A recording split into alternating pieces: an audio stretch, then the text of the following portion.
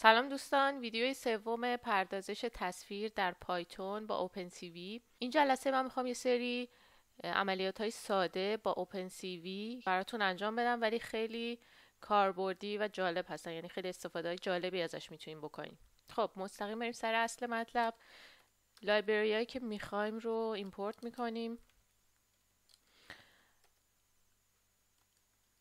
OpenCV CV2 از CV خب عکسمون رو به صورت cv.imread به صورت رنگی. من اول وارد می‌کنم. این عکس رو من مشخصا برای این درس درست کردم چون خیلی خوب نشون میده کاری که می‌خوایم روش انجام بدیم رو. خب توی اوپن سی وی من خدمتون گفتم که تو اوپن سی وی نه کلا تو پردازش تصویر خیلی رایج هستش که روی عکس سیاسفید عملیات رو انجام میدن چون هم خیلی سریعتر هست هم خیلی عملی تر هست و راحت تر هستش. ولی خیلی بهتره که شما عکس اول به صورت رنگی لود کنین بعد تبدیل به سیاسفیدش بکنید. و بعد روی سیاسفیدش عملیاتتون انجام بدین. حسنش چیه؟ شما وقتی رنگی لود می‌کنین بعد تبدیل به سیاسفید می‌کنین و عملیات رو روی سیاسفیدش انجام میدین حسنش اینه که شما هر دوتاش رو لود کردین تو دست دارین روی سیاسفید عملیات رو انجام میدین بعدا می‌تونین روی رنگی نتایج رو نشون بدین. الان می‌بینیم چطوری. حالا ما به صورت رنگی لود کردیم. شما می‌تونین دوباره به صورت سیاسفید لود کنین یا از دستور dot convert color. این یعنی convert می‌کنیم به کدوم عکس رنگیمون رو. بعد میگیم که می‌خوایم از سیستم BGR بره به gray می‌بینید اینجا option های مختلفی که داره. شما می‌تونید به HSV تبدیلش کنین به HLS تبدیلش کنین به BGRA تبدیلش کنین. این خوبی برنامه پایچارم یا خیلی حتی خیلی آیدیه های دیگه هم هستن که تمام حالت های ممکن نمایش میدن. شما می‌تونید ببینید چه استفاده می‌تونید بکنید. همش رو امتحان کنید همش رو سعی کنید ببینید چیا داره که بعدا لازمتون بشه. یهو فکرتون میره اه من اینو اینجا دیده بودم. خب. حالا بیایم تصویرمون رو نمایش بدیم ببینیم چه جوری میشه. هم image رو نمایش بدیم هم image gray رو نمایش بدیم. اول تصویر رو ببینیم بعد شروع کنیم کار کردن. خب این تصویر رنگیمون هست این تصویر سیاسفیدمون هست. یه قسمتی از تصویر رو یه سری تغییراتی توش بدیم. خوبی OpenCV اینه که وقتی شما یه عکسی رو می‌خونین به صورت NumPy array ذخیره میشه. من می‌خوام الان یه قسمتی از تصویر انتخاب کنم. می‌خوام یه عکس جدید تولید کنم. Image 2 میگیم اون همون عکس سیاسفیدمون رو بگیر. ولی بیا از پیکسل صدم تا سی صدم و از پیکسل 400 تا 500 رو نمایش بده. حالا اینو بکنم 250 کم جالب تر بشه. خب. خب می‌بینید این اومده فقط یه قسمت همون قسمتی که ما مشخص کردیم از عکس رو فقط کراپ کرده. یعنی شما به این راحتی می‌تونید قسمتی از عکس که می‌خواین رو انتخاب کنید خب یه کار دیگه هم که می‌تونیم بکنیم شما می‌تونید برفرض به جای اینکه این قسمت رو اصلا ببرید همین قسمت رو تو عکس سیاه کنید. یعنی ما میگیم این این محدوده از عکس توی عکس اصلیمون رو. بیا چیکار کن؟ بیا سفیدش کن. 255 255 255 این کد رنگیه دیگه درسته؟ همین ایمیج گری رو فقط نمایش بدیم. خب این اینو انجام نمیده. چرا؟ برای اینکه عکس عکس سیاسفیدمون یه کانال داره و ما اینجا سه تا کانال مشخص کردیم. اگه اینو اینجوری بنویسیم. خب ببینید اومد این ایریا رو این قسمت رو کلا سفید کرد. حالا بر فرض مثال من بخوام این بلابی که اینجا هست این رو کلا حذف کنم می‌تونم مثلا سیاهش کنم. خب؟ بیاین این دفعه رو عکس رنگی انجام بدیم. ایمیج از چهل. من چون قبلا این مختصاتش رو می‌دونم کجاست می‌تونم دقیق بلابمو بندازم روی اون. خب الان این چون تصویر رنگیمون هست ما باید سه تا کانال بهش بدیم. میگیم کانال آبی 255 255 255 یعنی هر سه تا کانال رو بیا سفید کن.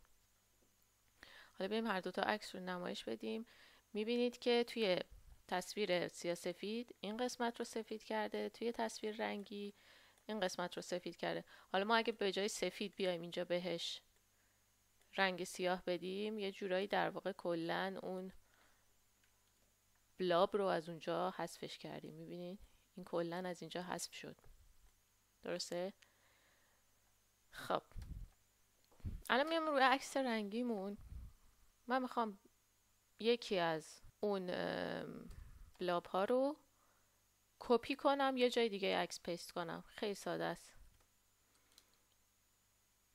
شما میایین توی عکس اصلیتون میگین که این قسمت از عکس رو حالا من میگم توی خودم چون عکس رو درست کردم دقیق میدم جاش شما می‌تونید یکم این محدوده رو امتحان کنین آزمون خطا کنین ببینید کجاست اون جایی که می‌خواین اون محدوده ای که می‌خواین.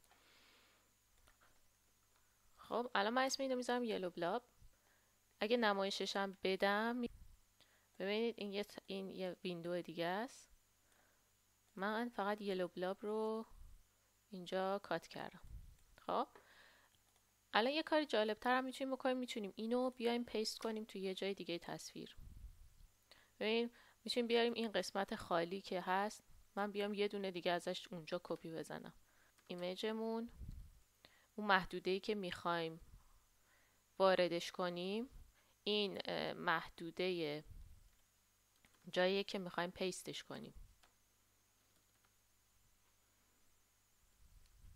خب باید حواسمون باشه که این range از 250 تا 370 120 پیکسله. اینم باید دقیقا 120 پیکسل باشه. همینطور این 130 پیکسل اینم دقیقا باید 130 پیکسل باشه وگرنه کار نمی‌کنه. خب بذارین الان یه دونه blob زرد باید دوتا داشته باشیم. حالا هر چند بار بخوایم می‌تونین این کار رو انجام بدیم خب این توی کنسولتون بیاین در مورد عکستون اطلاعات بگیرین. یا اینجا همین بالا می‌تونین بنویسین. می‌تونین بنویسین image shape ابعاد شکل ابعاد عکستون رو براتون میده الان چون image ما رنگی هستش سه تا کانال داریم و ابعادش 540 در 500 هست. حالا ما اگه بیایم ابعاد عکس سیاسفیدمون رو بگیریم باید یه کانال فقط داشته باشه. ببینین؟ فقط یه کانال داره. یه قابلیت دیگه هم هست. image size. حجمیه که عکستون گرفته.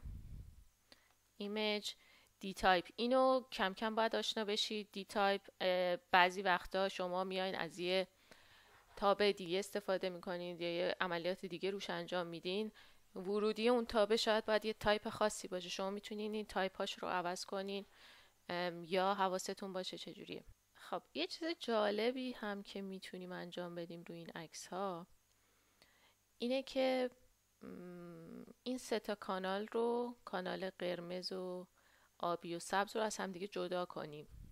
یعنی جداگانه روشون یه فعالیت های انجام بدیم. این خوش خیلی می‌تونه جالب باشه. بذار من اینا پاک کنم. بیایم ببینیم کانال آبی سبز و قرمز اینا رو چجوری از هم جدا کنیم. ما میگیم کانال آبی رو اسمش رو می‌ذاریم بی. میگیم ایمیجمون که شما اینجا دیدین. ماتریسمون سه تا کانال داره.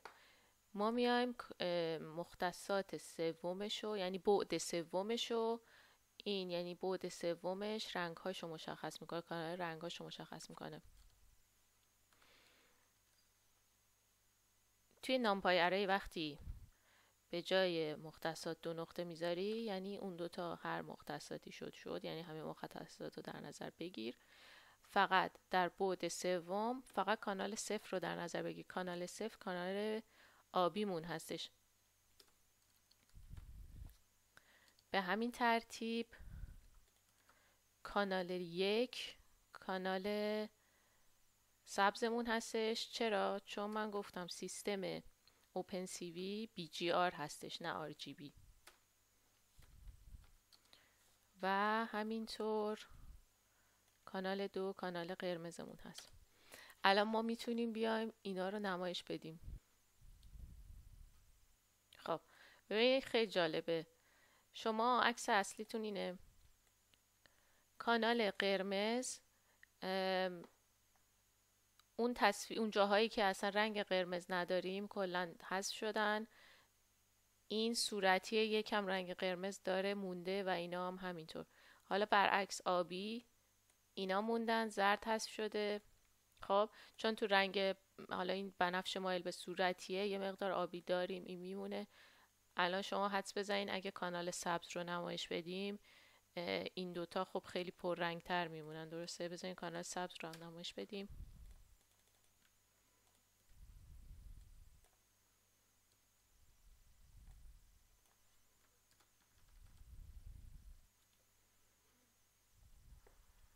خب کانال سبزمونه. نسبت به کانال قرمز ببینید چقدر تفاوت داره. جایی که این هست این نیست. زردم که ظاهرا از همشون یه چیزی داره چون هست همیشه. خب. نه توی آبی زردمون خیلی کم رنگ شد حالا شما می‌تونید بر فرض مثال تصمیم بگیرین که رنگای مختلف رو بیاین کلا رنگ قرمز رو حذف کنید. یعنی بیاین کانال قرمز رو مساوی صفر قرار بدید. خب بعد ایمیج رو نمایش بدیم. چی میشه؟